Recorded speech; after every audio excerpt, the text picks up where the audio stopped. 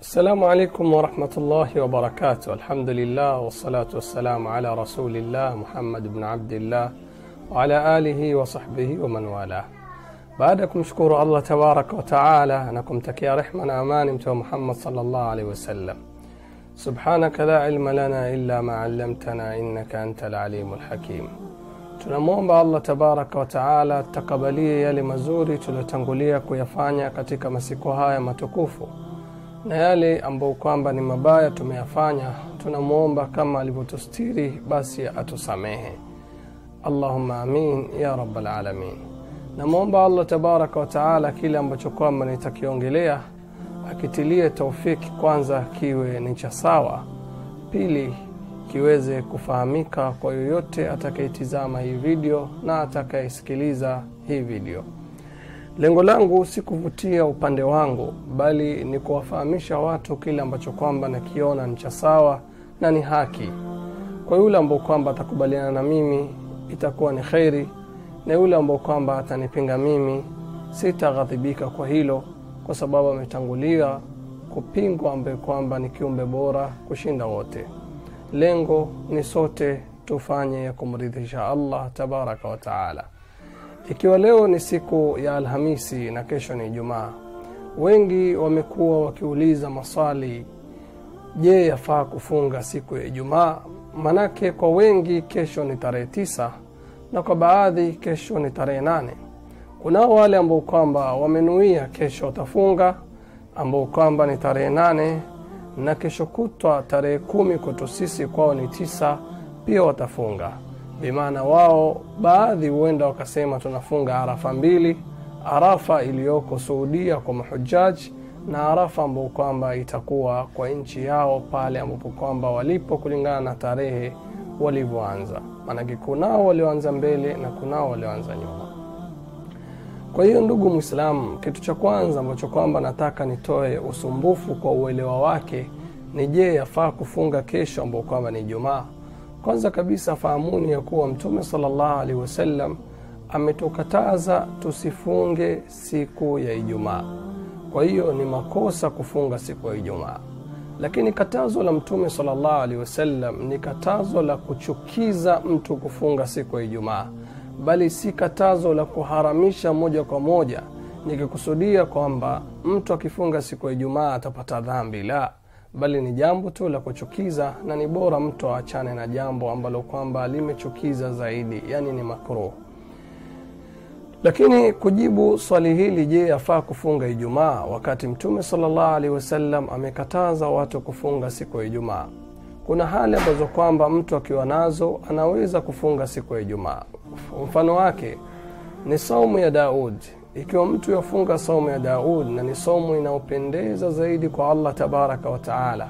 alikuwa akifunga siku moja na akila siku moja kwa maana hiyo ikiwa mtu yafunga saumu ya daud atakula alamisi kisha afunge ijumaa kisha ale jumamosi kwa hiyo huyu itakuwa amefunga ada yake ni kufunga siku moja na kula siku moja kwa hiyo hatakuwa amefunga ijumaa bali itakuwa anaendeleza ada yake ambayo kwamba imekubaliwa kisheria na somu hii inapendeza zaidi kwa allah tabaraka wataala njia nyingine mtu anaweza funga ijumaa kwa sababu mtume sallallahu alaihi wasallam alimuona mke wake siku ya ijumaa amefunga.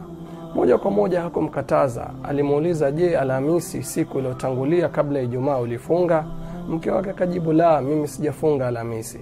Na je uko na nia siku inayofuata baada ya ijumaa yaani jumamosi utafunga? Akasema la mimi sitafunga jumamosi hapo ndipo mtume salllah alehi wasallam akamwamrisha basi futuru usiendelee kufunga. Kwa maana ijumaa ukitaka kuifunga unaruhusika iwapo utatanguliza siku moja kabla yake au utafuatiza na siku moja baada yake. Hali ya tatu mtu iweza funga ijumaa iwapo ni saumu ya nadhiri. Kwa mfano mtu anadhirie iwapo mtu wangu atarudi salama kutoka safari yake mke wangu mume wangu mzazi wangu.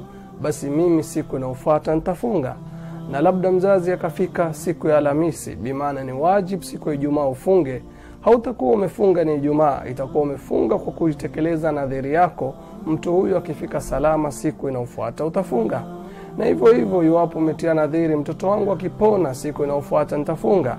Akapona Alhamisi, hapo unalazimika siku ya Ijumaa ufunge. Haujafunga ni Ijumaa, bali umefunga kwa kuwa watekeleza nadhiri yako.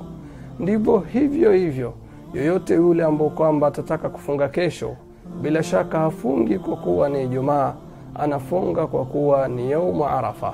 Na ikiwa hii ndio nia ya mtu kufunga siku hiyo, basi anaruhusika afunge.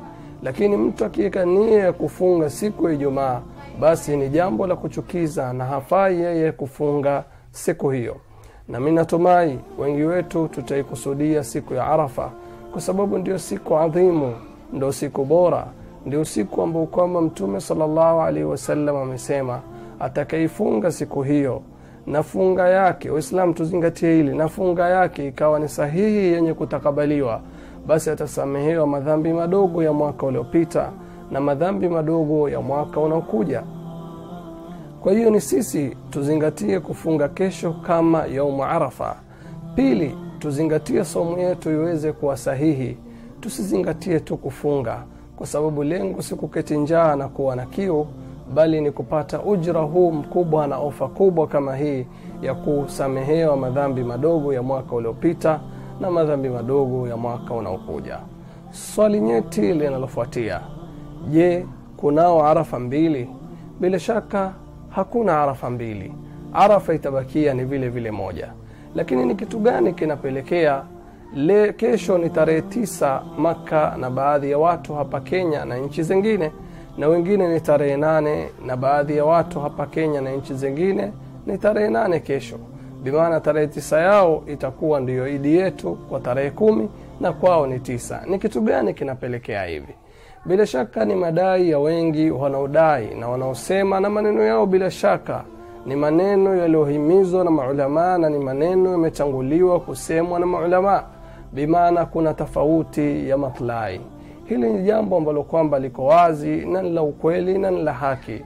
Kuna tofauti ya matlai, lakini swali la kujiuliza mimi na wewe, kwa sababu lengo letu ni haki tunaitaka, je, je, hii matlai inasababishwa na nini? Inasababishwa kwa sababu nchi ni tofauti kama Saudia na Kenya, au inasababishwa kwa sababu masafa ni makubwa baina ya Saudia na Kenya, au inasababishwa kwa sababu muda umetofautiana baina ya Saudia na Kenya? Hili ni swali ambalo kwamba iwapo tutapata jibu lake, tutaweza kujua ni namna gani tutajinasua katika mzozo kama huu. Bila shaka matlai haijatofautiana kwa sababu nchi ni tofauti, kwani katika nchi ya Amerika kuna sehemu ndani ya hiyo hiyo nchi imetofautiana matlai. Sehemu mbili zimetofautiana matlai, wakati nchi ni moja. Na bila shaka ikiwa tutasema ni masafa marefu ndo inachangia matlai kuwa tofauti, basi pia itakuwa hatujapata jawabu ambalo kwamba ni sahihi lenye kutosheleza na tukisema ni muda ndo unachangia matlai we tofauti, kwa sababu tunafahamu hapa kwetu inaweza kuwa ni usubuhi, ni mchana, kwengine ni usiku. Hili kidogo linaweza kuwa ni jawabu lenye kuangalika na ni jawabu ambalo kwamba liko na ukweli ndani yake, lakini swali itakaobaki itakalobakia swali litakalobakia ni je, sisi wa Kenya na Saudia tumeachana kwa muda kiasi gani mpaka tushindwe hata katika idi hii kubwa hii siku takatifu ya Umu Arafa kuwa pamoja na ndugu zetu kule Saudia.